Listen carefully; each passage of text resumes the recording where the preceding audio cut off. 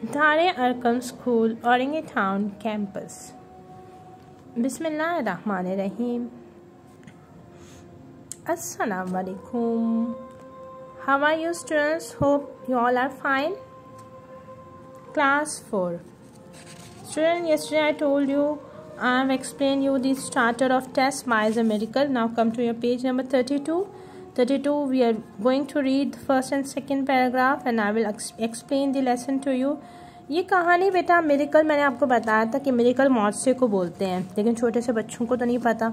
एक छोटी सी बच्ची ही है आठ साल की बच्ची है, टेस उसका नाम है। एक दिन टेस ने सुना अपने पेरेंट्स को, उसके पेरेंट्स बात कर रहे थे कि उनका जो टेस का छोटा भाई है, एंड्रू तो वो बहुत बीमार था। तो बहुत गरीब थे वो लोग तो उसके पेरेंट्स के पास इतने पैसे नहीं थे कि वो उसके भाई का ट्रीटमेंट करवा सकें या किसी अच्छे डॉक्टर को दिखा सकें।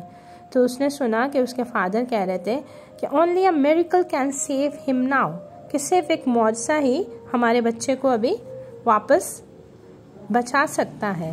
अब टेस्ट चूँकि वो तो छोटी सी बच्ची थी, उसको नहीं पता था मेरिकल किसे कहते हैं। वो समझ रही थी मेरिकल पैसों से मिलता है तो वो यही सोचते हुए वो अपने रूम में गई। तो एक छोटे से जार जो था, उसने अपने कबट में रखा था उसमें उसने कॉइन्स जमा किए थे। बच्चे अक्सर पैसे जमा करते हैं ना?